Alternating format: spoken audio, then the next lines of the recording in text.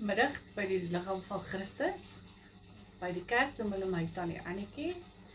Ek het net drie goed wat baie na my hart is. En dit is repent, word gedoop en gaan uit en maak disippels. En die res van dit los ons in ons pastoor se hande.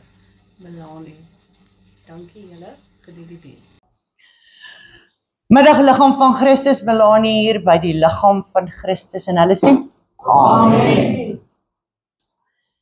Ons um, ons harte en ons gedagtes gaan uit aan almal wat hulle huise verloor het in die vloede in Van der Pyl Park die laaste week. Uh die mense in Parys wat getref is. hulle is in ons gebede. Dit moet verskriklik wees om jou hele huisvoorraad so te verloor. Ons is nie ondankbaar oor die reën nie. Sê vir ons Vader baie dankie. En die Here weet wat elkeen nodig het. Mag by elkeen wees 'n vertroosting bring vir die diere wat dit nie gemaak het nie. Wat nog steeds weg is, die perde wat uitgekom het, die Ons het altyd hoop dat hulle uitgeswem het. Ons het en uh, ons gee 'n uh, high five dan na Emma se kant toe wat rinkelse in hulle huis mis dood maak toe die water inkom. 'n Plot is nie vir almal nie. Dis al wat ek kan sê. Kom kom ons hoop en Almagtige Vader Ek dank U Here vir hierdie pragtige dag vir 'n sonskyndag. Vir soveel mense wat nog besig is om hulle lewens terug by mekaar te vee en te skraap wat die water als weggesmee het, Here wat die geslee het ons ons harte gaan uit na hulle toe Vader as U net by hulle sal stil staan. Hulle vertroosting sal gee dat ons weet dat U 'n goeie Vader is en al verstaan ons nie altyd nie. U woord sê dat daar gaan rampe wees, daar gaan vloede wees, daar gaan aardbewings wees, is als dinge waarvoor u ons voorberei het. Vader help ons want u woord sê ook dat dit gaan baie geloof vat in die laaste dae om te verstaan. So Vader, ek vra dat u ons geloof sal aanblaas dat ons sal klou aan U, maak nie saak wat die omstandighede is nie. U is 'n goeie goeie Vader, mag ons nooit sig daarvan verloor nie. Skryf jy die woord vanaand op elkeen se hart hier. Herroep dit vir hulle Heilige Gees soos wat hulle dit nodig het. In Jesus naam. Amen. Amen. Amen. Ons lees vandag uit Matteus 27 vanaf vers 51.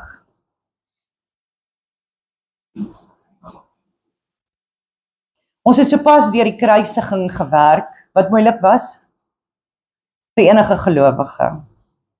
Dit's moeilik. En ons is in die boek van Matteus terug want Matteus teken 'n paar dinge aan wat die ander boeke nie aanteken nie.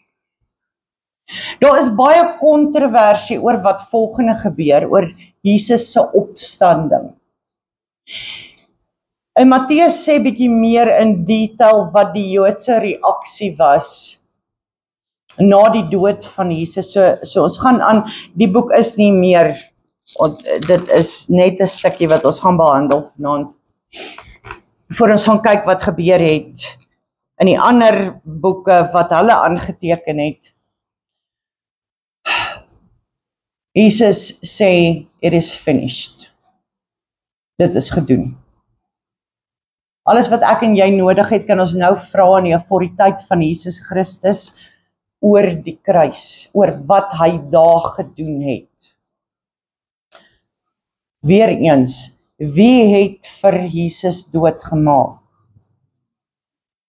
Niemand. Jesus het gesê Niemand kan my lewe by my neem nie, ek gee dit op. Vir ons. Vir ons het hy dit gedoen.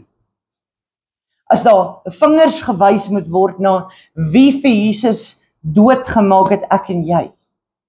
ons sondes. Die hele wêreld se sonde wat kom rus het op hom op daai oomblik wat so erg was dat ons God se gesig weggedraai het. En Jesus alleen gelos het vir daai oomblik. Want hy kon nie kyk na al ons sondes nie. En ons het gaan kyk na die dooies wat opgestaan het, nie zombies nie. Volledig, heeltemal opgestaan het en in die strate rondgeloop het en die aardbewing en die kleed van die tempel wat geskeur is van bo tot onder. En ons God sê kom in. Almal nou, nie net meer een priester een keer 'n jaar nie. Almal van julle kom in. En wat doen die Joodse mense? Hulle werk om weer vas om almal uit te hou. Gaan maar weer uit. Maar die kleed is geskeur en dis klaar gedoen. Daar is nie teruggedraai op dit nie. Ek en jy is welkom as gelowiges in ons Vader se troonkamer elke oomblik van elke dag. Niks hou ons uit meer nie. Jesus het alles gedoen. It is finished. Ons hoef nie bang te wees om na die Vader toe te gaan en 'n versoek te bring of net met hom te gaan praat of net te rejoice saam met hom nie. Ons gaan in as ons worship, ons gaan in as ons bid. Ons we take advantage van die wyl wat geskeur het. Niks kan ons meer verwyder nie. Niks kan ons uit sy hand uitruk nie. Dankie Jesus. Ek dink jy ons kan dit genoeg sê nie. As jy niks het om voor dankbaarheid nie, ek sê altyd as jy depressief opstaan, wat doen ons? Kry vyf goed om oor dankbaar te wees. As jy niks het nie, begin by Jesus. Begin by Jesus. Dankie dat U my sondes gevat het aan die kruis. Dankie dat U my genesing vir my gegee het. Dankie dat U die dood vir my oorwin het. Dankie dat ek niks hoef te vrees in hierdie lewe nie, want dis in U hand. En dankie dat U my U my u eiendom gemaak het, u vriend gemaak het, u u kind gemaak het, kindskap. I'm not an orphan. I'm not a victim. Ek is 'n kind van die almagtige God. En dis amazing. Sy dan vers 51 toe ons het gestop waar Jesus sy gees opgegee het.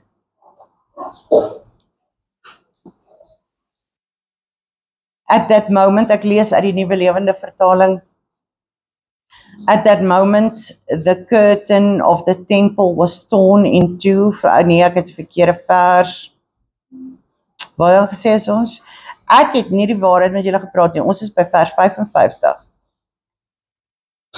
dis nie 'n gewoonte wat ek het om te jok nie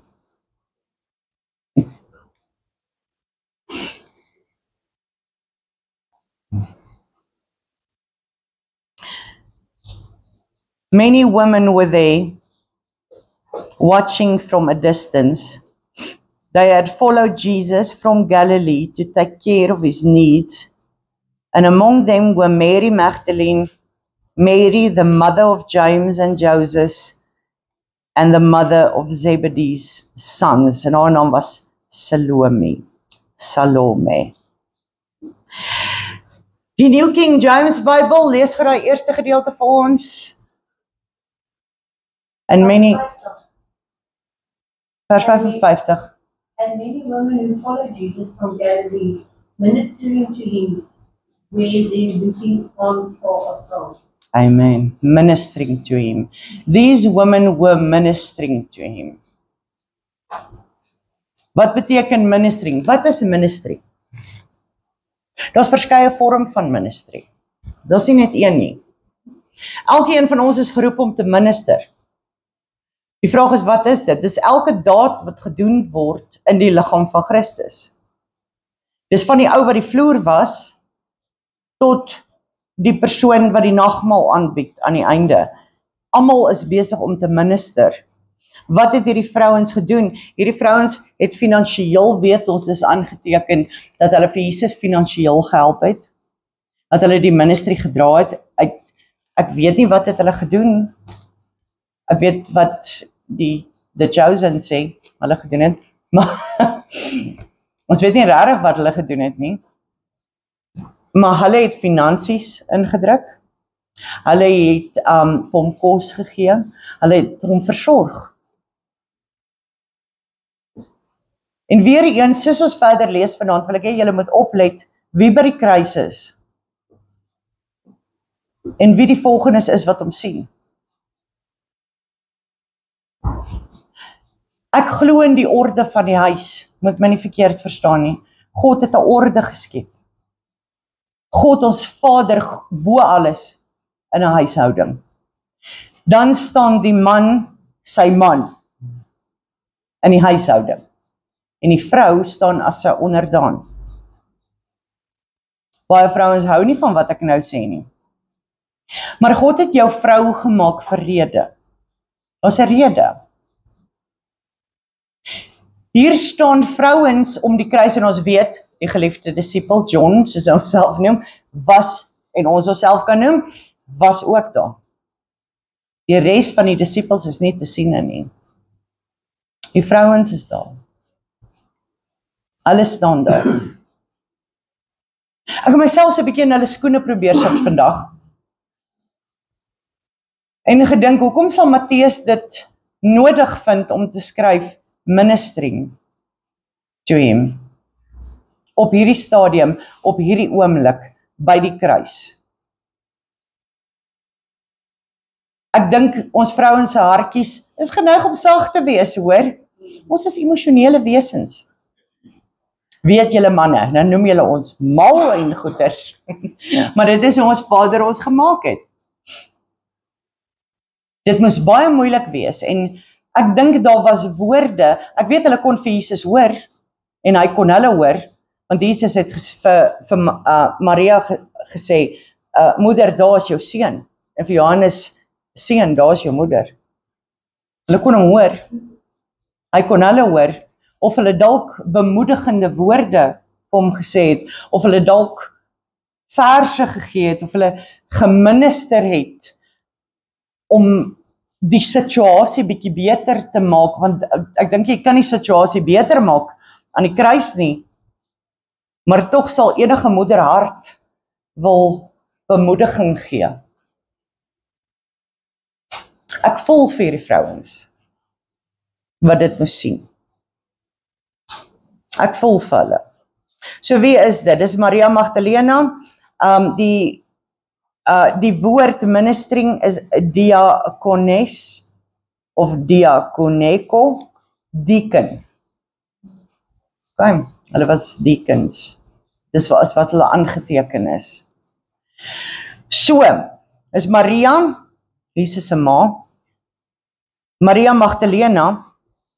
Maria sa uh Salome. Maria was 'n populêre naam. James the Less se ma.